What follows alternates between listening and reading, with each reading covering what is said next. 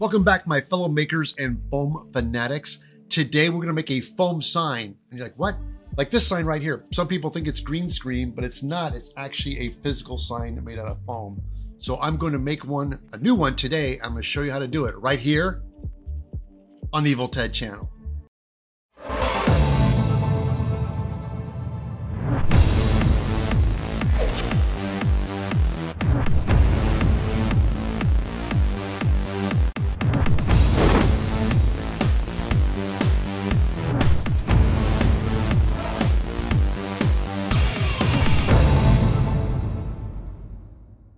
The sign today we're going to be making is the Foam Fanatics. Now, of course, this is a graphic design I had. I printed out on some paper, and then I got some transparency and traced it with a fine tip Sharpie. And to take that transparency and put it onto an overhead projector. Uh, I projected it on the wall, got the size I liked, and then traced it with a pencil. And there it is. Now, see, this is the sign and the lettering. So what we're gonna do, we're gonna, um, I want, uh, when I make this sign, I'm gonna do the same thing I did with my Evil Ted sign. Uh, I'm gonna be doing two pieces of foam. I'm gonna do the back base, um, is yellow and the letters are letter uh, are red, but I'm actually to do them as separate pieces. I'm not to do them all as one. I'm to do them as separate pieces.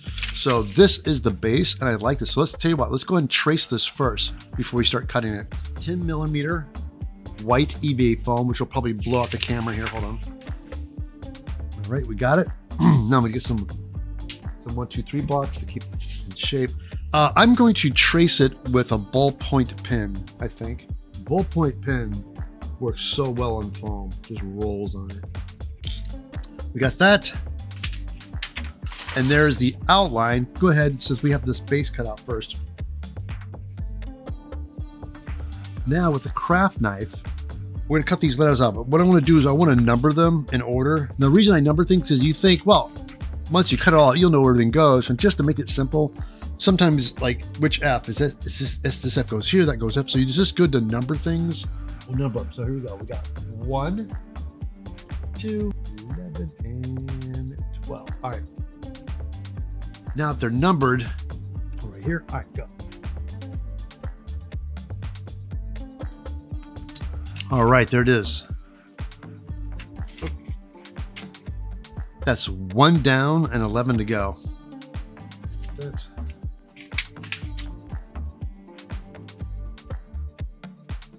you what, just to make it easier to deal with, let's get some scissors. Let's just go ahead and cut this out. And everybody, if you have not gotten one already, stop torturing yourself and get yourself a Crenshaw sharpener. You can take a blade, utility knife, and you can sharpen it right back up again because nothing dulls a blade faster than soft foam. Why? I don't know. It's crazy. It's still sharp enough to cut your skin, but dull to cut foam. So when you're cutting soft foam, it has a tendency to dull, go dull quick. That. Because all those little details and nooks and crannies, this is definitely have to be cut with a uh, a craft knife. Let's get a new blade, shall we? Frisker blade handle holder. All right, here we go. Now for all these jagged edges, it's definitely easier with a craft knife. So, and again, it's great to have a cutting mat on the table. There you go. Okay. And there it is. We got our silhouette. Took a little longer than I expected. Okay, now we're going to move on to the letters. This is F. Let's hold this guy right down like that. Trace it. And I'm using a fine tip Sharpie on this. Okay, that's one, and I got 11 to go. All right, we have the letters. And now I'm definitely going to cut these guys out on the bandsaw, but I find before we do that, let's go ahead and separate these because it's going to make this a lot easier to cut on the bandsaw. Now we have our letters ready. Let's go ahead and take these guys over the bandsaw and cut them out.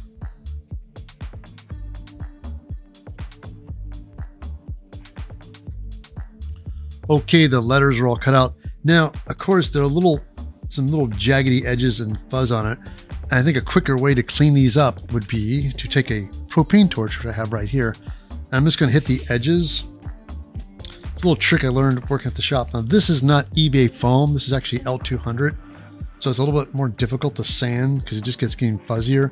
So I'm just going to take some fire.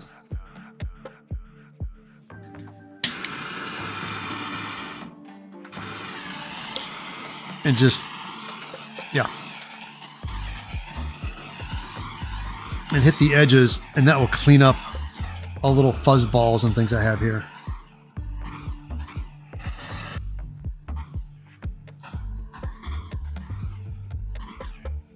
Okay, I torched all the edges. They're all nice and cleaned up. Uh, the one thing I'm noticing too, this is why I don't like having my foam stored in a roll because things, they're just not laying flat, they're curled. So we have to go through and uh, heat these guys up and make sure they stay flat. So I got my heat board so I don't warp my table.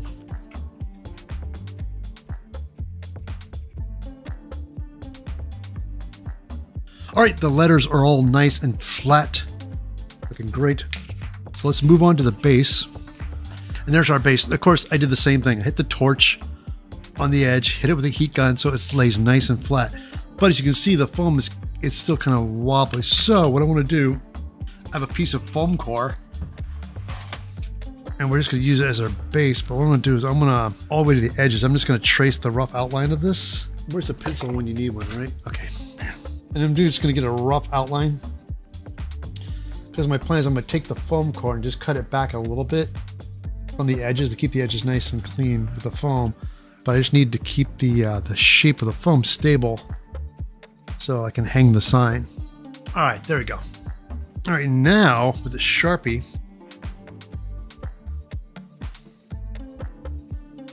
there is a hole on the uh, foam. It's right here. And that's where it falls right there. So that spot needs to be cut out as well. So where this guy is in here.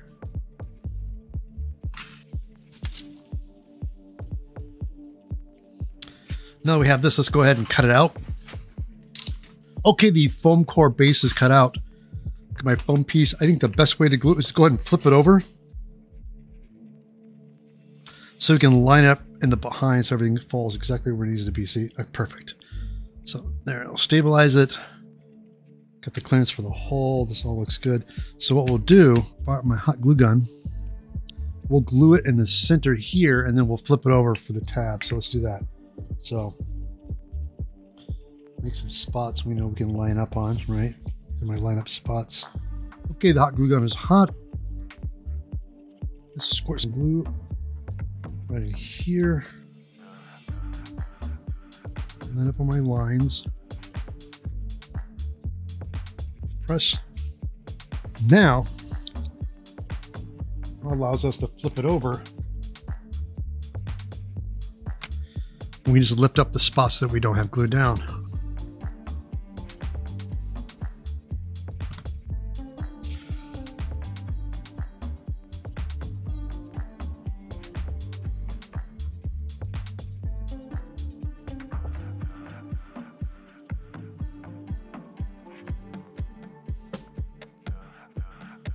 All right, look at that. See now it's stable, good sign. Let's go ahead and move on to our letters. I cut some uh, some foam core and added some double adhesive tape to them. And I'm gonna do is I'm gonna peel it off like so, and this will allow me to take our letters and stick them on. And I find that when make sure when you're putting them on, you want to kind of keep them overhanging. So you want to be able, when you're spray painting, you want to be able to get the edges as well. So when you're sticking these things down, kind of think about when you're spray painting, um, you just need just enough to hang on so you can get paint all around the uh, areas. Another thing too, when you're sticking things, pay attention because I'm realizing uh, you don't want to get the other side around. Um, I realize this is the, I can see the Sharpie. This is, was the front of the lettering. So it goes here. Okay, we have all the letters mounted onto our pieces of foam core strips uh, make it easier for painting, but I would like to prime them first, put a thin layer. I mean, it's foam and the spray paint will take, but I want to get a nice finish on them. So I have some um, Hex Flex in the shop And I'm going to use this as a base to do two things. I'm going to put a little bit of a base color on it and I'll put a little bit of a skin coat. And I can do seal it and put a color, put my first color base down. And thank you, Hexflex, for the uh, the sealant. Okay, the uh, Hex Flex is dry. So we're to take this over the spray booth. I'm to lay down some uh, Rust-Oleum 2X Red. So take this to the spray booth.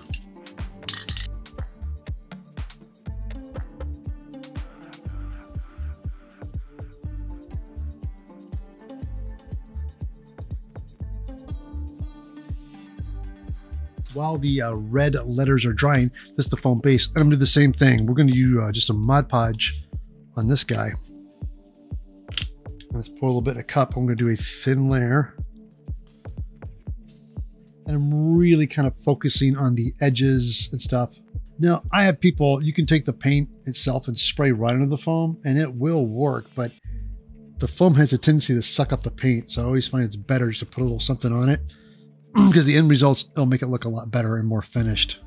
Okay, the um, Mod Podge is dry on our base. And of course, I took the time and went ahead and glued a uh, stir stick on it. So when I paint it, I can hold this. And I got paint on my hands. So we're going to take it to the spray booth. I'm going to use some Rust-Oleum 2X Yellow.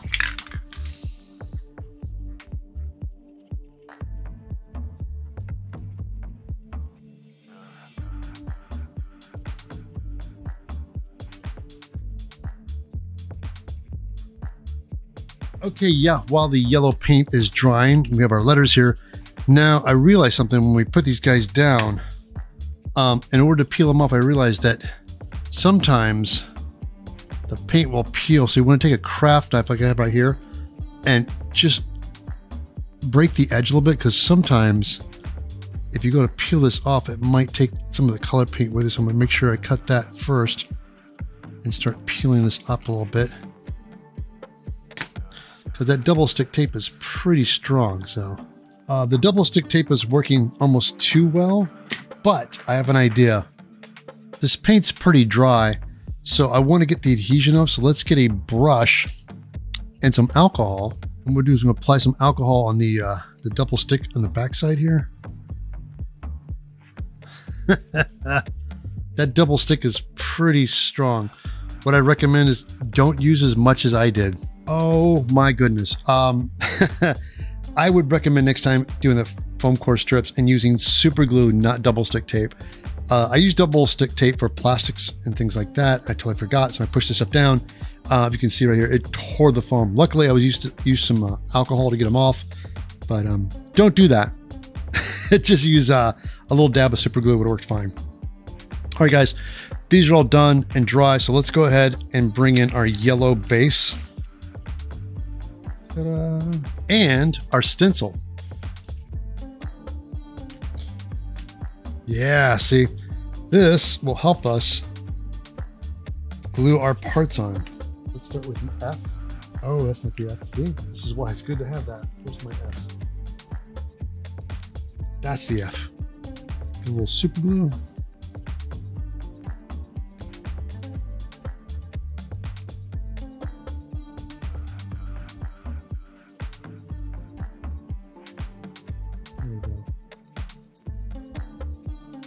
Good. Get our O, which is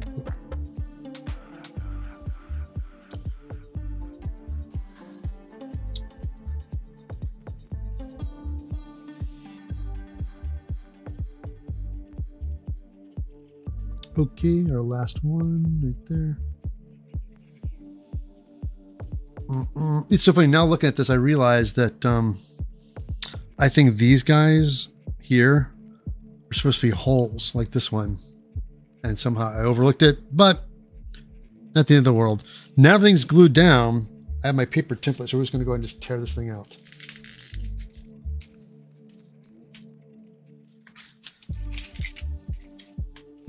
There is our foam fanatic sign. Well, we're almost done, but not quite. So what we do is we need to uh, put some uh, hanging mounts for it. This paint job's a little fresh. I don't want to dirty it up, so I'm to lay a... Uh, got some wet poster board here and lay it down. There we go. Like that. All right. Uh, I took some baling wire, made some little hooks here. So we're going to glue them down. What do you want to do is you want to glue them. I want to kind of hide them behind the sign. So let's mount one here on the foam core. Right about there. Pads, smash that guy down a little bit. Yeah, I want this sign to hang a little bit flush, so. I will do the same thing the other side over here. Right there.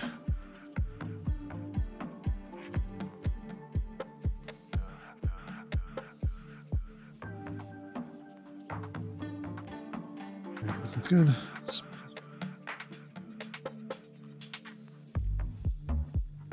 There you go. I just like using the silicone pad. It makes it nice and flat and clean.